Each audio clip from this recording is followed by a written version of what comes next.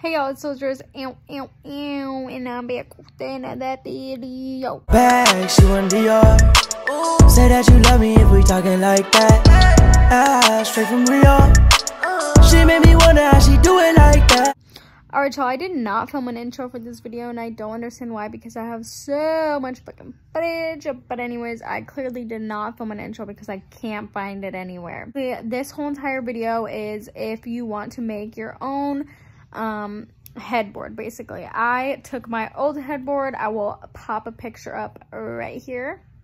I took my old headboard and basically turned it into a whole brand new headboard. I wanted this super slick, like clean, natural vibe. As you can see in the back right here, this is what it looks like. Um, that's the vibe that I wanted my headboard to be. And um, they were all like four, five hundred, a thousand dollars. And I just was not doing it because there is no reason for me to spend that much money on a headboard when I already had a three, four hundred dollar headboard that I could just recover with fabric. So that's what I did and I showed you guys all the steps to do it. So you can continue watching this video if you want to do this at home because trust me, it may seem like it's such a big project in your head. And yes, it did take a few times, you know, a few trial and errors, but once we figured, finally figured it out and that's what we show you guys, it was completely so easy to do. Show you what I'm working on right now. Um, it's currently Sunday. I got the fabric for my headboard. If you guys didn't know, this is um, how I'm doing my headboard to recreate it because I already have like a freaking $300 headboard, you guys. So I'm like, I need to put it to use and we decided to basically just um, Y'all see how hard that is? Recover it with brand new fabric to give it that like neutral look. So we're literally just taking like all of the fabric and kind of just doing it to where it's super tight and freaking shooting it with this gun or whatever. It's already coming together really good. Um, my mom just went to go get more paint for my room. Just gotta like make it everything the part and as you can see, I made everything tight. I might just save the ends for when my mom comes. I suck at like wrapping an actual present. Literally take staples and just kind of staple it all along. And this is my headboard. We're redoing this one. My mom has like already started it.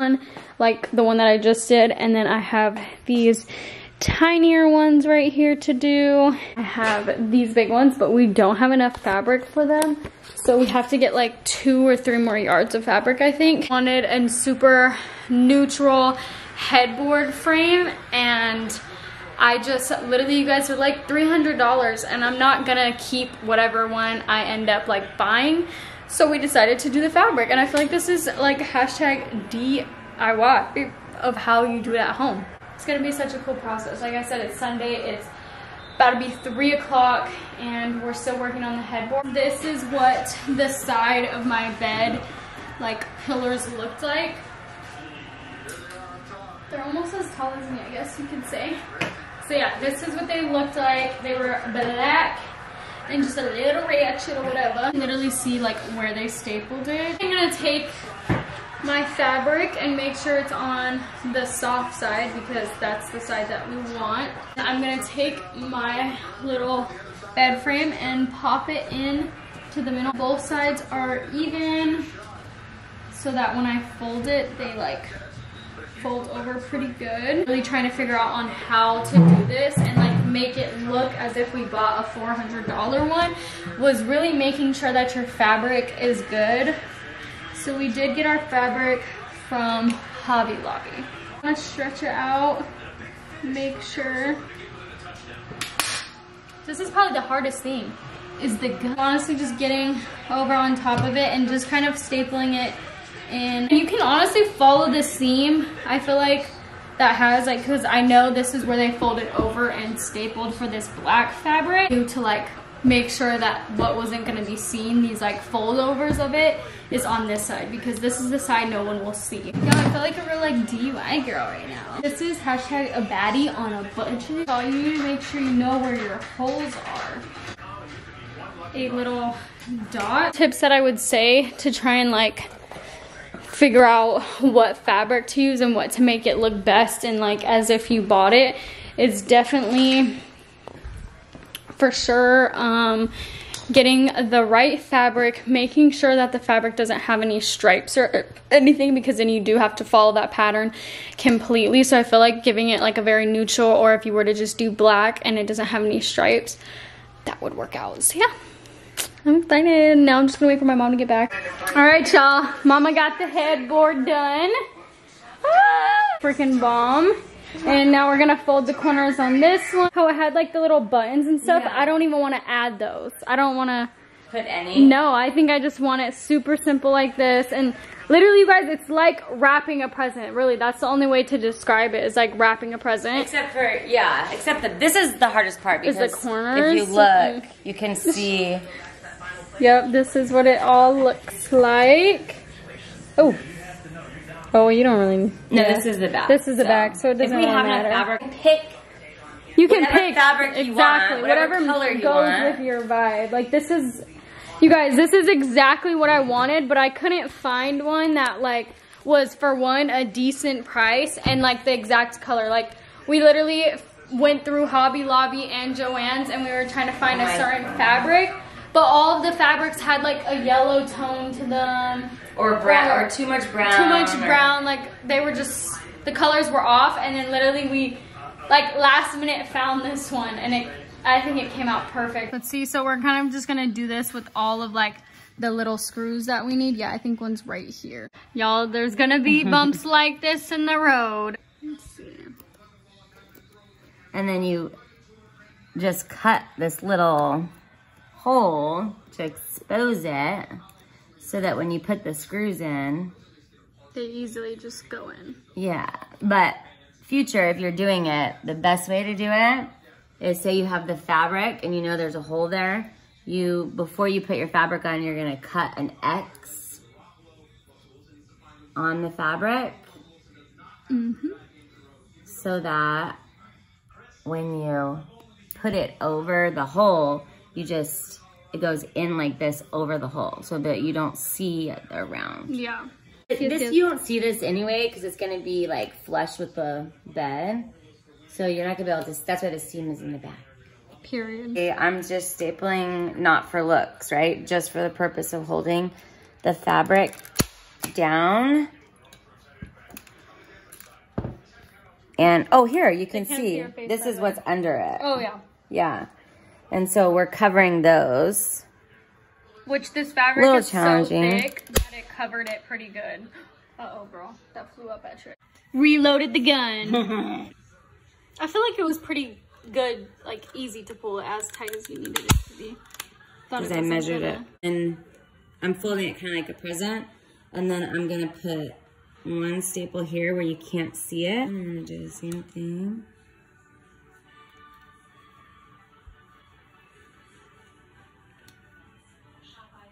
Yeah, hold it.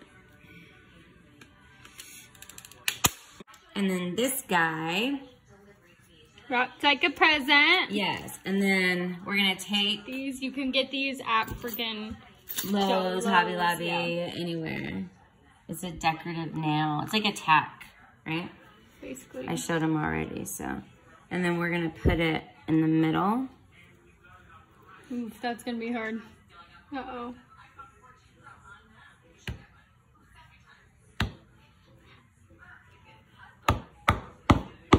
See that? How pretty? Look like a million of bucks. Look at that. Ah! All right, y'all. So I am starting on the second one now. This is what the first one is looking like. Everything looks good. That's just some, like this is just stuff that I can clean up on. Luckily, this is literally like the end, so no one's really gonna pay any attention to it. But this is what it's looking like. It looks perfect. So now I'm gonna start on this one. So a few things that I'm gonna do differently, really, because this isn't gonna be seen too much and something that like kind of took me the longest time to do was definitely taking like this circle and like doing the method of where I told you where you squeeze it like, or sorry, the circle right here where you um, doing the method of like squeezing it and then making a slit and kind of cutting a hole so that the fabric is still all around that. I really don't need to do that because I can still make it really tight and make sure it's hold um, with only doing it to like having fabric to like right here.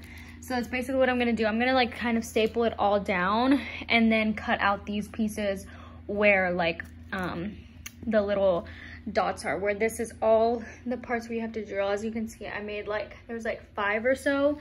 And then I will make sure to show you guys the technique that I did as far as like folding this over to cover this black. And then as you can see, there's like holing right here.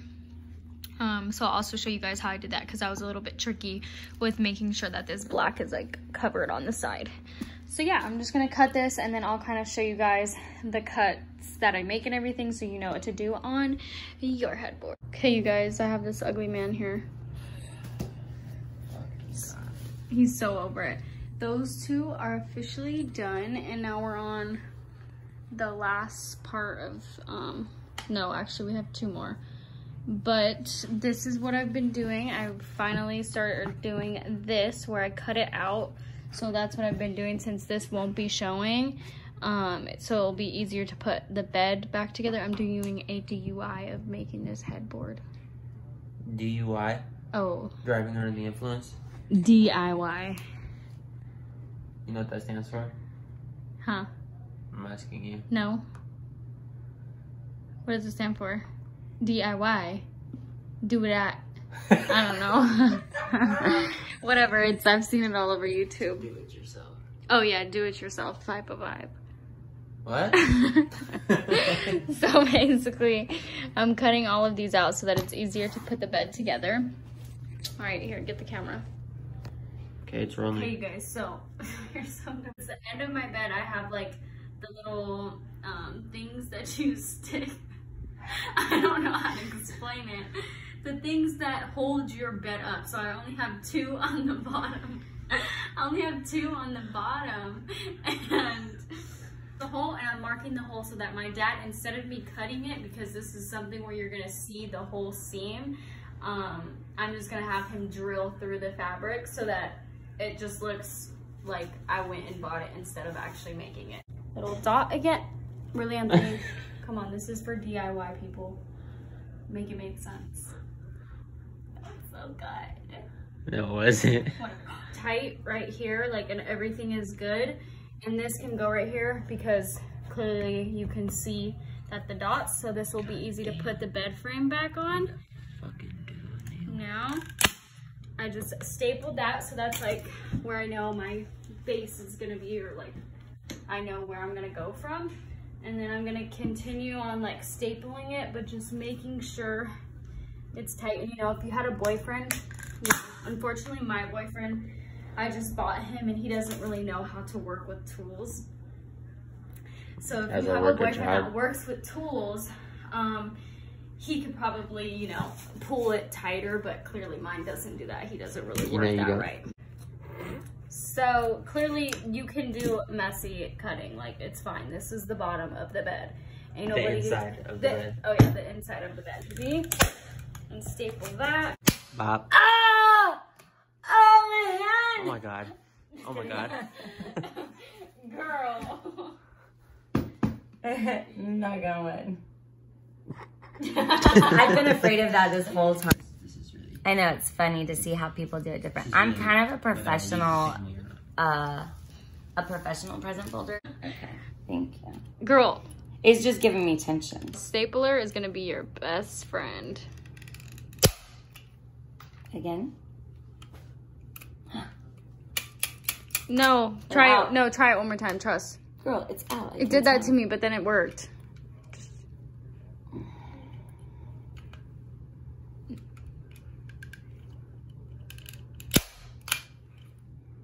Yeah, who's right? You are.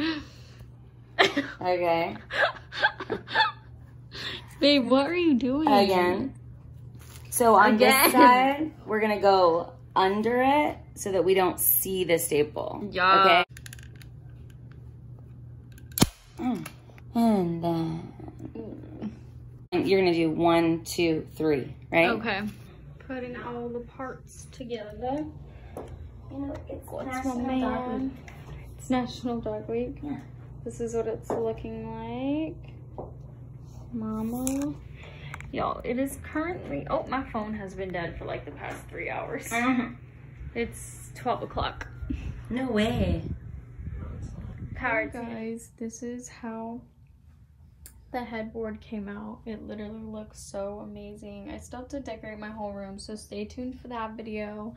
Um, but you literally cannot tell that I made it. We have these three little dots. Of course, it has its, its little imperfections or whatever, but it still looks so amazing and does the job. Um, I literally love this color and I can, once I'm done with this color, you guys, I can literally change it to a whole new color.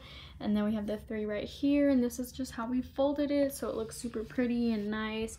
The only thing we did mess up on, I messed up on, is right here. You can see the staples. I thought it went the other way. I didn't follow the seam. So just follow the seam of your bed.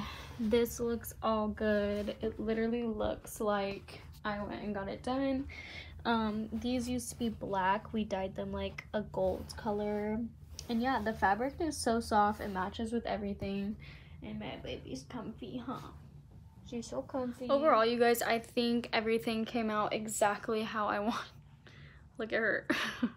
um, literally, it came out so perfect. It came out the exact way that I wanted it to. And I ended up spending like a hundred bucks the most on fabric. It really just depends if you get it on sale um, or whatnot. So I think I got five, six, seven. I got eight yards of the fabric and that covered everything. Um, and I had leftover fabric actually. I had three yards left over. So technically I used five yards of fabric, which is awesome. And like I said, yeah, like from the fraction of what I would have paid on top of already having a good headboard, I would have paid like $400, $300 when really I only ended up paying $100. So definitely try this out. If you guys have any questions on what I did and if you know like I didn't give you a full understanding of how to do it, then just comment down below and I will write you guys back. But I hope you guys enjoyed this video and let me know if you like more videos like this. Um, comment down below if you guys want me to do a decorating my room video because I think that would be fun because I'm decorating and look like I have a whole bunch of blank walls so it's to be a really freaking bomb. So yeah, comment down below and I love you guys.